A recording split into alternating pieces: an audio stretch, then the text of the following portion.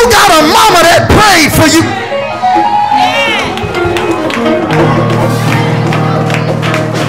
Your mama might be gone, but you remember that you made it over because mama said a prayer for you. That mama sacrificed for you. And we come today to honor mama just for what she did. If you had a mama that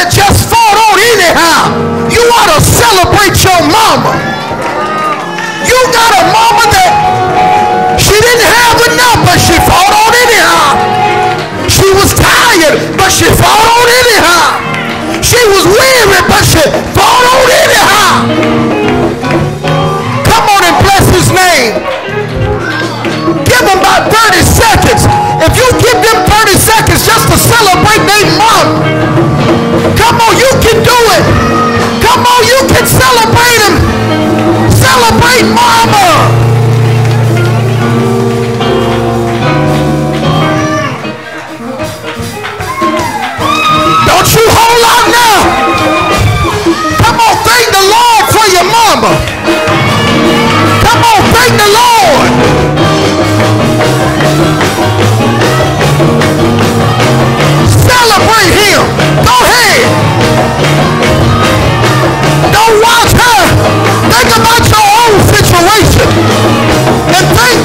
God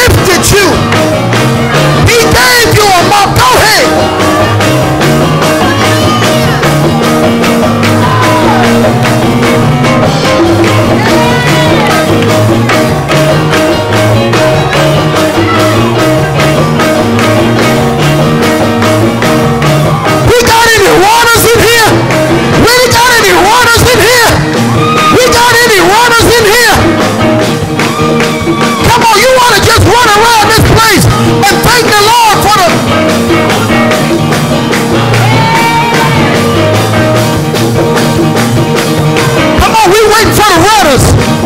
We waiting for the runners.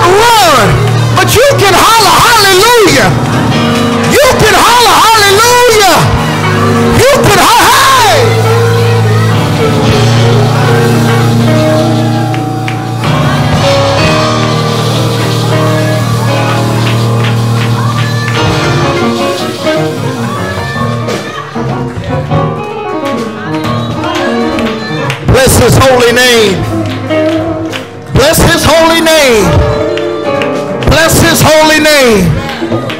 Bless his holy name. I don't know what you're waiting for. But the Holy Spirit is in this place. Everything that you need, God has got it in the hollow of his hand. Everything that your heart desires, God's got it.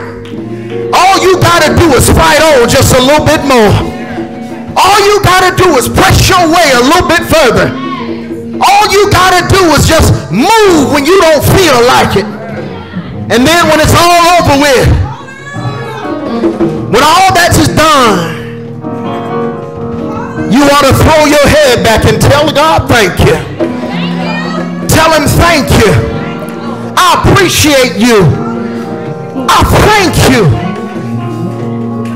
Bless his name. Go ahead and worship him right where you are. I want to share this with you before I take my seat. Earlier this week, I was invited to Twin View Nursing Home in Twin City, Georgia. And the director there asked me if I would come and pray with the residents and the staff and the community. They said, if you could, we're going to start prayer at 11 o'clock. And I pulled up in the parking lot at 1055. And when I pulled up there, there were at least 30 people already outside on the lawn. Now, I figured in my spiritual eye that it would be easier for them to roll them into the dining hall. But they pressed their way outside, and there were 30 residents outside on the lawn five minutes before 11. Let me say that one more time, Pastor. They got there before time to start. And it did my heart well because of all of the 30 people that were there, 25 of them were in wheelchairs. But they showed up five minutes to 11 couldn't really clap their hands because arthritis had taken control over their limbs, but they were still there five minutes to 11. Some of them couldn't remember the songs that were being sung, but they were still there five minutes to 11. And I told them this.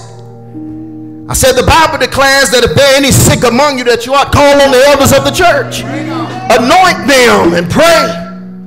I said, just before we pray, I want you to do this for me.